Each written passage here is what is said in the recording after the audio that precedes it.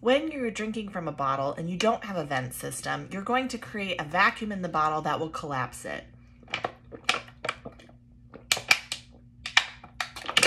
When you release the pressure, air will get inside. The same thing happens on a baby bottle.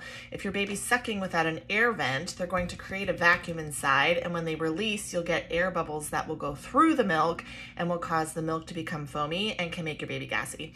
So every commercial baby bottle will have some kind of vent in it. So Lansinoh's is the hole at the top. Comotomo has a hole here at the top your Evenflo balance will have a hole at the top.